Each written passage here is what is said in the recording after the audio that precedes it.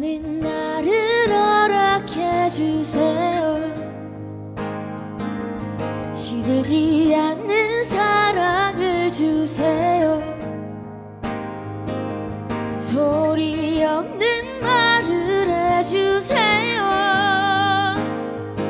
날 미친 사람이래도 좋아요. 화려하게 정식된 말들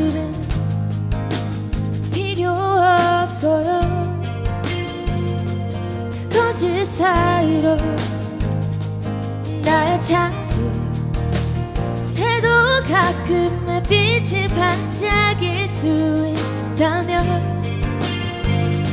그러니 그대의